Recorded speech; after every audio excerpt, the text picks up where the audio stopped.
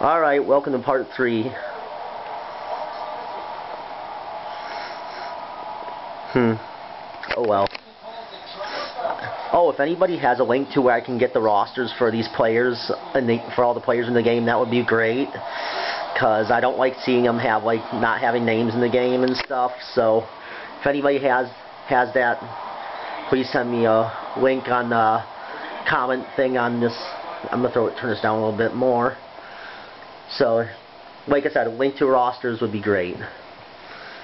Oh, and another thing is, tell me if this looks good, if this is set up for widescreen or not. I think the graphics are a little stretched out, because I don't think my PlayStation knows how to do widescreen, so I might have to fiddle with the settings a little bit, but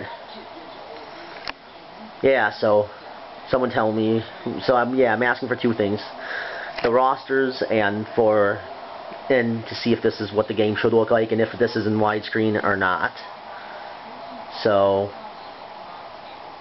so it, well, I, what I want to say about the TV is that the positives, 240 hertz processing, it's a 52 inch TV, great picture, uh, colors are great, sound's not too too bad, I'd have to say, for a TV, but I do want surround sound.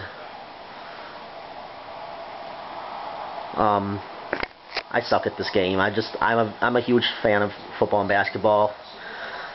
Wait. Oh, I'm off subject. Oh, I was talking about the TV. Well, the only downfall I have is that it was expensive. And that's about it. That's the only downfall I have about the the TV. I like this game a lot, but I have to admit, I'm not good at any video game for my PS3 that I do. I am not a very I'm not a very good gamer and when I game I often lose a lot but I have to admit that well I'm a lot better playing on the PS3 than I am on the stupid Xbox 3 shitty. Remember I told you that my account was suspended for my verbal abuse to that guy. So I don't have an Xbox Live account anymore. I don't even have a 360 anymore. I just stick with this PS3 down here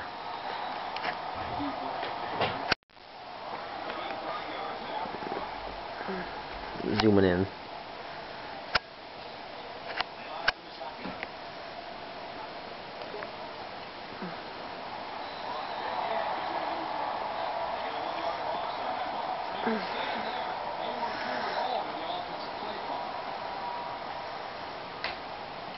Running beautifully.